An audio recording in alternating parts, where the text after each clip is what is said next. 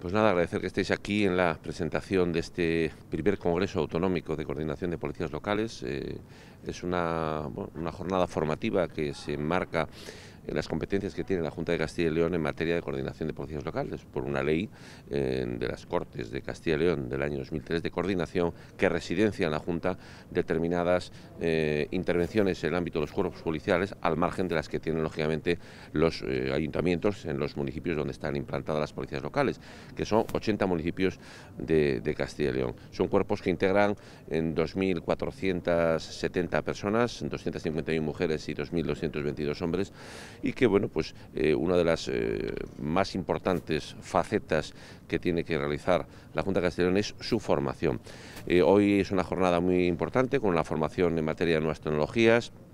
el uso de las tecnologías al servicio de la acción y de la intervención policial es clave en la actualidad. El uso de drones y el uso de esas tecnologías en la búsqueda de personas eh, va a formar parte de pues las, mesas y los ponentes que van a participar en la mañana de hoy. Luego habrá otro tipo de, ponencias por la tarde en, materias, en distintas materias de especialización y intervención policial y bueno, pues, conjugan una formación en la que bueno, en los años 2000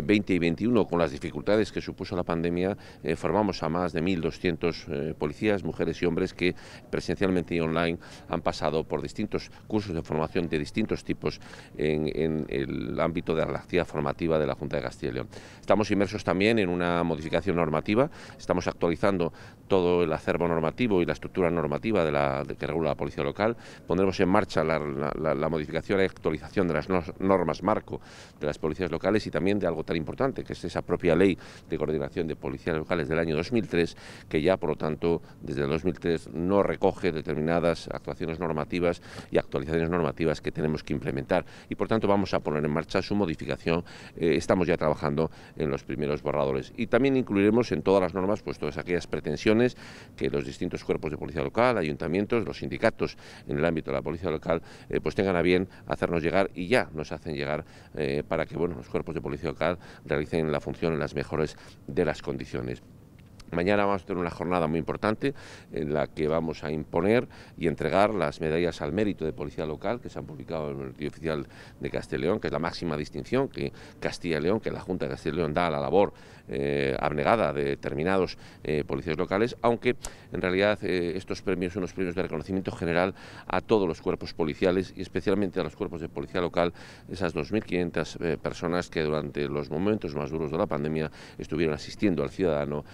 cuando en nuestro encierro eh, había pues, un desconcierto sobre cuál era el modo de transmisión y la peligrosidad de estar en la calle, ahí estuvieron esos hombres y esas mujeres eh, echando una mano a nuestra ciudadanía y dándonos seguridad.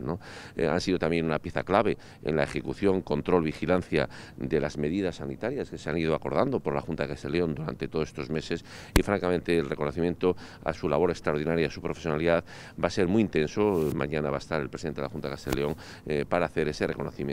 y desde luego autoridades del Estado y autoridades autonómicas como muestra eh, de la labor realizada y del agradecimiento que tiene Castilla y León para con ellos. Sin más, esperamos que la jornada sea muy positiva, es el primer congreso y seguirá eh, en los próximos años, estableceremos de forma habitual la celebración de este congreso anual tan importante para una mayor eficacia eh, en coordinación con los cuerpos de seguridad del Estado que actúan como uno a favor de, de Castilla y León.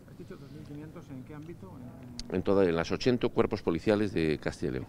Hay 80 municipios, ayuntamientos que tienen cuerpos policiales de policía local. Bueno, pues las demandas lógicamente son primero eh, buscar la la homogenización de sus estatutos, eh, que permita pues, que sea más fácil la movilidad, eh, mejorar los derechos, por ejemplo, los derechos de la mujer en el, dentro del cuerpo y sus especificidades en materia de su estatuto personal como policía local, pues, lógicamente mejoras desde el punto de vista funcionarial, un conjunto de, mejoras normativas que iremos elaborando y que iremos lanzando y publicitando a medida que las vayamos acordando. Hemos hecho ya mm, bastantes mejoras, el, estatuto de los, de, los agentes, que es digamos la escala de entrada, ya ha sido uniformado y eso pues mejora mucho también las perspectivas de ese intercambio entre ayuntamientos y esa movilidad y desde luego también su formación, las pruebas selectivas, etcétera, etcétera. En, esa, en ese marco, pues eso ha permitido que precisamente hayamos firmado un convenio con la Federación de Municipios y Provincias, donde hemos posibilitado a ayuntamientos que quieran cedernos las competencias de selección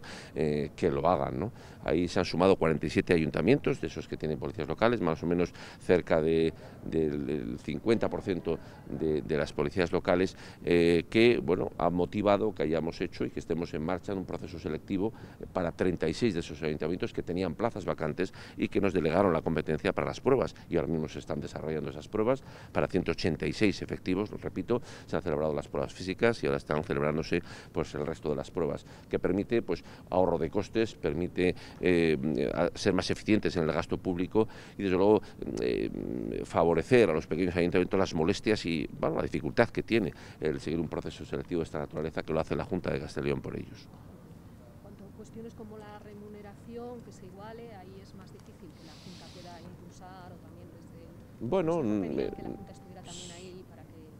Sí, nosotros tratamos de buscar una homogenización también en materia retributiva, que forma parte de su estatuto, en materia de uniformidad, y por tanto sí, eh, creo que eso es una labor también que, tenemos que realizar dentro, lógicamente, del respeto a la autonomía local, porque son funcionarios de las administraciones locales, no son funcionarios de la Junta de Castilla y León. Por tanto, nosotros lo que hacemos es eh, establecer determinado marco normativo, regulatorio eh, uniforme, pero con respeto absoluto a la autonomía de los ayuntamientos.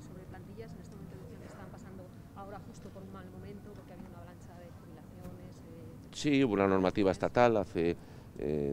dos años, finales de, 2019, que motivó la jubilación anticipada de muchos agentes de policía local, lógica, sensata y correcta. ¿no? Y eso motivó un esfuerzo muy importante por parte de la Junta de León, como tenemos la, competencia de formar a los nuevos policías, pues conllevó el realizar un esfuerzo económico y organizativo para eh, acelerar eh, que se cubrieran las plazas vacantes que quedaron en los distintos ayuntamientos a medida que iban convocándolas y que se les permitía eh, por parte de la situación económica la convocatoria de nuevas plazas. Y yo creo que hemos respondido la Junta de Castilla y León eh, con acuerdos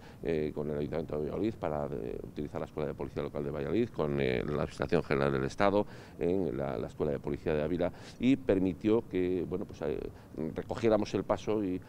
acelerásemos el rejuvenecer las plantillas y el dotarlas que habían quedado bastante diezmadas por esa circunstancia. ¿De estas 2.470 en estos dos o tres?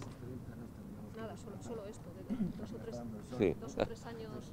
para formación, ¿cuál será la plantilla dentro de tres años más o menos? Que, que porque ahora dicen que están por debajo de la ratio Sí, bueno, eh, no es fácil porque repito que todo depende de la convocatoria de plazas que hagan los ayuntamientos. Nosotros no somos los que tenemos las plazas, las plazas son municipales y por tanto son los ayuntamientos los que tienen que convocar conforme a sus presupuestos y sus necesidades. Eh, ahora eh, son 186 plazas, es un, bueno, es un número importante de plazas, más las plazas que convoquen aquellos ayuntamientos que no se han sumado al convenio. Por tanto, esperemos y esperamos que todos nos hemos dado cuenta de la importancia que tiene que los servicios esenciales estén bien dotados, entre ellos los servicios policiales, y por tanto entendemos que los ayuntamientos acelerarán el paso para cubrir sus vacantes y dimensionar adecuadamente sus cuerpos de policía local. Ahí encontrarán siempre el apoyo y la ayuda de la Junta de Castilla y León. Vamos a empezar, ¿eh? Gracias. Gracias a ti.